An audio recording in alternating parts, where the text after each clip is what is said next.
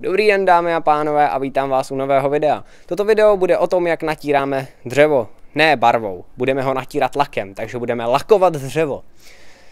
E, máme tady teda průhledný lak, kterým to teda budeme lakovat. My už jsme to teda jednou nalakovali, lépe řečeno já jsem nalakoval většinu, tatínek nalakoval jenom jednu půlku, jako jednu půlku nějakého dřeva ale i přesto jeho práce se cení a můžeme se na to vrhnout, jakmile to uschne, tak se vám ozvu a budeme to natírat ještě jednou pro jistotu.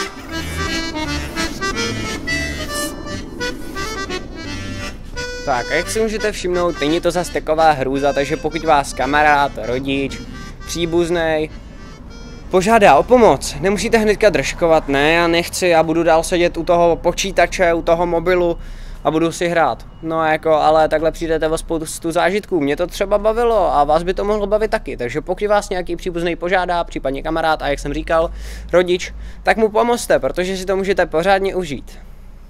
Tak čau a uvidíme se u dalšího videa.